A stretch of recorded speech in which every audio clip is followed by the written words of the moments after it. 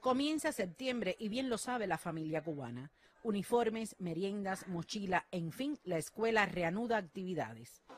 Inicia el curso 22-23 la provincia de Las Tunas y el resto del país reanuda el curso 21-22 con 10.793 instituciones educacionales.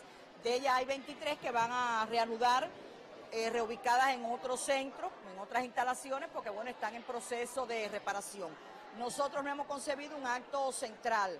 El acto más importante es el que se está realizando en estos momentos en todas nuestras instituciones educacionales con la participación de los alumnos, maestros, trabajadores, la familia, la comunidad, las organizaciones políticas y demás. Este es el acto de reapertura en una secundaria básica capitalina. Se hace este acto en un centro que se le hizo una reparación capital por la oficina del historiador de la ciudad, como se ha avanzado mucho en este municipio con la participación de nuestro querido Eusebio, que realmente tanto, eh, tanto luchó por reparar escuelas. Aquí se rescataron muchas escuelas bajo la conducción de él, que también es un, un homenaje y un pensamiento profundo a nuestro querido Eusebio. Pero no es una escuela más es la jinete de Chuyima del Consejo Popular Catedral de La Habana Vieja. La escuela jinete de Chuyima eh, siempre fue la escuela del barrio y en un momento determinado la escuela tuvo que cerrar por situaciones constructivas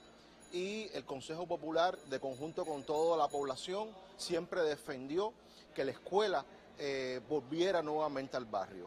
Bueno, realmente nosotros nos sentimos muy contentos. Cuando le hablo de nosotros, le hablo de los niños, le hablo de los padres le hablo de los maestros, porque realmente después de 12 años ya estamos en nuestro Consejo Catedral y es un orgullo estar aquí hoy.